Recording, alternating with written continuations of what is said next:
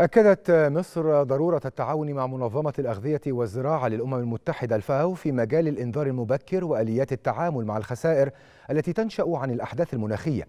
وخلال استقبال وزير الزراعة واستصلاح الأراضي السيد القصير للمدير العام المساعد للمنظمة والممثل الإقليمي لمنطقة الشرق الأدنى وشمال إفريقيا عبد الحكيم الواعر أشار القصير إلى أهمية التعاون المشترك في مجالات تطوير منظومة التعاونيات الزراعية. من جانبه أكد الواعر حرص المنظمة على توافق المشروعات التي يتم تنفيذها مع خطط التنمية المستدامة لمصر.